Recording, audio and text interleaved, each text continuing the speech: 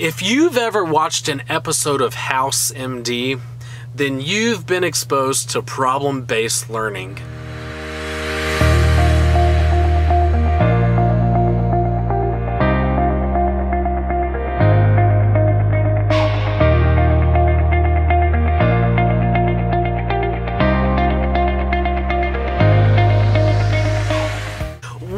Up, everyone, and welcome to vlog number two, where today we're going to talk about the curriculum here at Western University of Health Sciences College of Veterinary Medicine. Now, this is something that I get asked every single month by a prospective vet student. They want to know about the unique curriculum that we have here at Western U. So, for the next few minutes, we're going to dive in and I'm going to tell you everything that you want to know about Western U's College of Veterinary Medicine.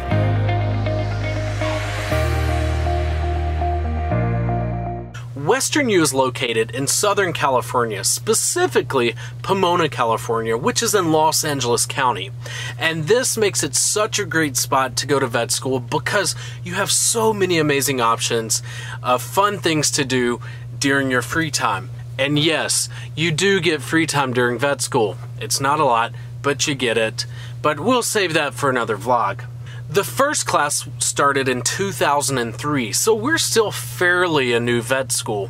And we received full accreditation by the AVMA Council of Education. Western U prides themselves in creating truly a new paradigm in veterinary education. Most of you know that Western's curriculum consists of problem based learning, or PBL. So, what is PBL? PBL is an education system where where you learn to solve problems through a case. And now this was actually started and it's used, utilized in a lot of medical schools and dental schools. But Western U is the only vet school to have this system as their sole curriculum. Now, we'll talk a little more about the PBL process, but first I want to break down our curriculum within the 4 years. So, your first two years at Western U, you will spend those years learning your basic sciences. Every Monday, Wednesday, and Friday, you are in your PBL sessions for two hours. And those two hours is where you'll go over your cases for the week. Now, Mondays, Wednesdays, and Fridays may also be coupled with clinical skills, and that's going to vary every single week. You may be out on the farm doing large animal work, you may be in the small animal hospital on campus doing work there, but the clinical skills course is exactly what it sounds like. It's for you to develop clinical skills. We get exposure way early in our curriculum, starting your very first week. You're going to learn suture patterns, you're going to learn how to properly get into a sterile gown and sterile gloves for surgery a lot of vet schools don't expose students to this until their clinical year, which is third or even fourth year. So here at Western, you get a lot of hands on experience right at the beginning. And then every Tuesday and Thursday, you'll have anatomy lab and then something that we call BSL. Now, BSL stands for Basic Science Lab or Lecture, depends on who you talk to. But the purpose of BSL is to sort of provide the lecture portion of our curriculum. The BSL usually provides some sort of hands-on or interactive session where the class comes together as a whole and and you go over physiology or embryology, immunology, topics such as those and you go over those and correlate those to the case that you're studying that week. So for example, in musculoskeletal block, you may have a BSL on bone growth. And so in that class, that's where you'll spend 2 hours learning about that and talking about that with a specialist. Now, the class is usually split up on Tuesdays and Thursdays. One half will be in anatomy, the other half will be in BSL. And then at the two hour mark, the class will switch. Your anatomy lab is self directed. Each group your group of seven students, your PBL group, you will have a cadaver, a dog and a cat.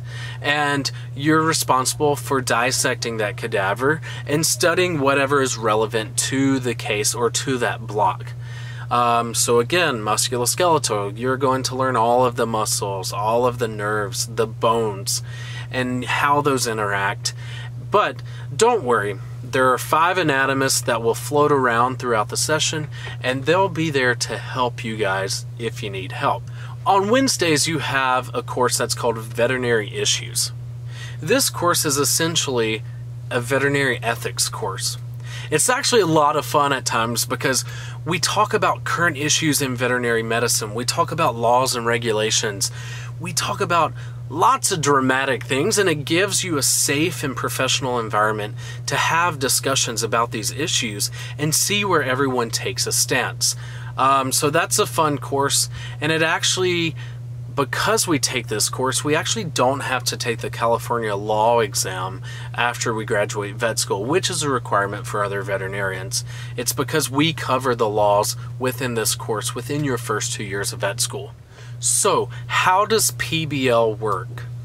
As I mentioned, every Monday, Wednesday, and Friday, you will be in your small group of six or seven with one assigned faculty member each day you will get something we call disclosures. Those disclosures are synopsis or little insights to the case that you're working on. So on Monday, for instance, you may get just a history and a signalment of the patient. And so within that two hour session, you start formulating something we call learning issues. Learning issues are areas that that you need to explore and study on your own or as a group to better understand the basic sciences. So, for example, if you have a case of a eight year old Bernese mountain dog that comes to your clinic in Southern California and it gives you his vitals. So his TPR, his temperature is 103.4, his respiratory rate is 42, and his heart rate is 130. Well, as a first year vet student, everyone is not going to know the normals for a dog. So that's what we call a learning issue. You write that up on your board. What is a normal TPR for a dog? So, what's the normal temperature? What's the normal pulse? What's the normal respiratory rate for a dog? And so that's sort of how you develop some of the basic sciences through this. And so then in your in that case you may establish okay, this dog has a fever. Well, now this is where the basic sciences come in. What causes a fever? How does a fever happen in the body? We know that fevers are a thing, but what is the basic science behind that? So, again, that's the basis of first and second year. As you go throughout the week, the case is going to progress and progress your group will take home and assign learning issues every day, and you do that as homework. And then the next session, you'll come back and sort of share with your group what you learned. Now, one unique thing at Western is all of our notes and homework is shared with the entire class. So the class gets to share this, and they get to see everyone's notes and pull all of this together, sort of as what you would have from a lecture based curriculum there is no way that you can cover everything that you need to know on your own within one week for that case. So it's really important here at Western U that you can collaborate and work with your peers because you are going to need them to survive first year of vet school. Every Monday the following week, you will come together as a class in the morning and you will have what we call grand rounds. The grand rounds is a time for the class to reflect back on the case from the previous week and bring up questions that you have for the specialists. Now, all of the specialists are gathered around in the room and they're questioning the students. The students are questioning them. It's a time to really connect the dots and bring the case together as a whole. So that's a pretty quick rundown of first and second year. Second year is pretty much the same as your first year, um, but it's a little harder. So, second year, you're going further and deeper into the knowledge and into the learning issues. So, first year, you really gain a, a basic foundation of terminology and some of the basic physiology and anatomy. Second year, you push yourself a little harder and really dig into the physiology and pathology through those cases. Now let's talk about third year at Western U. At Western U, we start clinics our third year, unlike most vet schools where you start your fourth year. Now, third year clinics, I like to describe it as more of a general practice type feel. So, third year, you actually you're split up into the four blocks again, but this time you're distributed out to veterinary hospitals all across California. Now, yes, we do not have a teaching hospital at Western U. But we do have a small animal general practice at Western U called the Western U Pet Health Center. A lot of people don't realize that we have this. This is such an awesome resource, and you will actually spend two weeks at this hospital during your third year. Your third year is broken into four blocks. Blocks will be will consist of on campus, and that's where you learn about public health, global health, food and feed safety, and courses like that and you will spend eight weeks doing that. Another block is small animal block. That's where you spend eight weeks doing small animal medicine. And you're sent out to veterinary hospitals all across California and you learn small animal medicine and also emergency medicine. Another block you have is sort of a large animal slash zoo slash lab animal medicine block. And it's exactly what it sounds like. You will spend weeks working on dairy cattle, beef cattle. You'll spend two weeks working at a zoo and learning about zoo medicine. And something, again, that's really unique to Western is you are required to spend two weeks working in an animal laboratory. Now, some people may be scared of this, but I can tell you from experience it's actually really amazing and you gain a great appreciation for laboratory medicine. We're the only vet school that requires every student to rotate through a lab animal um, externship. And so you're sent to various universities, really prestigious labs across the US, and you spend two weeks there learning about veterinarians' roles in lab animal medicine. And then the final block that you have is your equine and surgery block. It's exactly what it sounds like. You spend time working with horses, and then you also spend time doing small animal surgery and anesthesia. Now, as a third year student, you do have some preferences as far as to which hospitals you would like to rotate at. It's not a guarantee that you will get it, but most students get their rotations. You sort of submit your entries into this lottery system and then it assigns you the hospitals. Now, fourth year, I think, is the most exciting year at Western U, and we are nowhere near campus usually. Fourth year is up to you, it's what you want to do. You literally can travel the entire world your fourth year of veterinary school. All that has to happen is the hospital that you'll be rotating at must be approved by the school. So here at Western U, we don't really track, but you could sort of think of it like that. For example, my fourth year, I'm not doing any large animal medicine. I'm only doing small animal because that's what I'm going into after graduation. During fourth year, you are required to take a core internal medicine course and then a core surgery course. Those are only offered at select hospitals, but other than that, the rest of the year is up to you and where you want to study. Some classmates actually even move back home during fourth year and complete all of their rotations back at home. Some students go to Africa or Europe you can literally go anywhere you want to gain these clinical hours as long as it's approved by the school, which is super exciting. And also, it sort of gives you a leg up on some other veterinary students.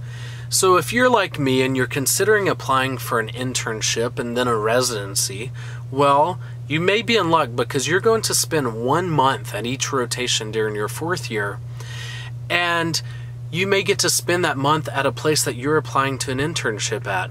So that sort of gives you a leg up compared to other students because that hospital really gets to know you in and out.